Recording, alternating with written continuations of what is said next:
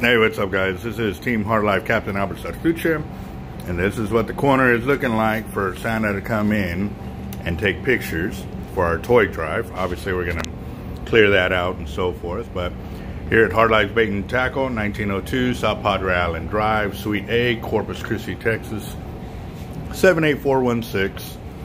This Sunday from 2 to 4, come take pictures with Santa, bring some unwrapped toys so we can continue our toy drive. And again, guys, our goal is to break 1,500 toys. We're a little over a thousand right now. Our last day, guys, give us a hand. We're still doing it. You can also send funds via Cash App to dollar sign Team Hard Life, and we will get it set up. Please note on there, it is for Toy Drive.